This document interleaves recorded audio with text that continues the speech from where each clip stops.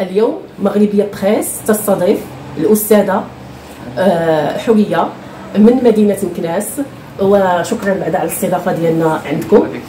آه، مواطنة تعرضت للظلم والاستغلال والعنف وكل ما هو آه، كينتهك حرمة إنسان ولا مواطن مغربي.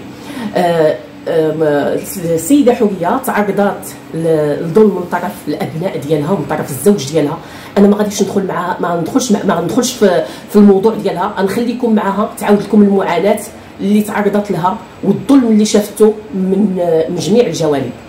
تفضلي أستاذة حوريه السلام عليكم ورحمة الله تعالى وبركاته.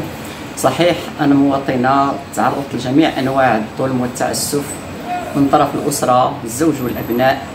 اللي تعرضت منهم للغدر والخيانة وسلب الحقوق باش اتهام واتهامي بالجنون كذلك أو بالحمق. هذو من الأبناء ديالك ولا من الزوج ديالك؟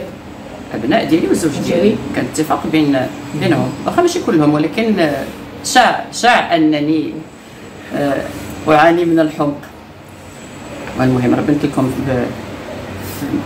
ضد فيديو واش هل اعاني شفتك مع جرائد وحدة اخروي آه. داكشي علاش أنا. أنا بغيتك آه، آه، تعاودي باختصار لأن الظلم حنا شفناه واكيد المتابعين ديالنا غادي يشوفوه مع قنوات واحدة أخرى. ولكن أنا اللي كنأكد لك عليه هو بأن شنو هو المطلوب ديالك شنو هو شنو هذا النوع ديال الظلم اللي تعرضت له المهم ما نزيدش في التفاصيل. كلشي كنت وضحته اللي بغى يبحث يبحث في الفيديو الأخرين اللي دازت مع قنوات أخرين. فاصون راه وليت معروفة. ولله الحمد.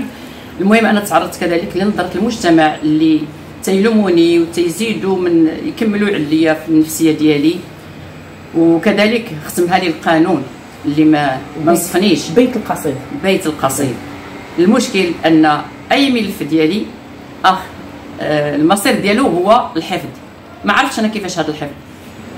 ما كاينش الرفض ولكن كاين الحفظ. علاش؟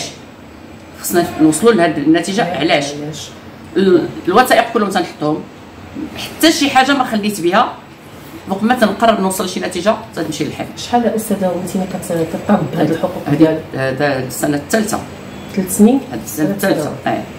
كلهم ملفاتي بحيث في المحكمة ولا تقول لي تنقول مش تقول انت معروفة بالحفظ. انت عرفناك بالحفظ. أي رقم قلبت عليه سيري للحفظ.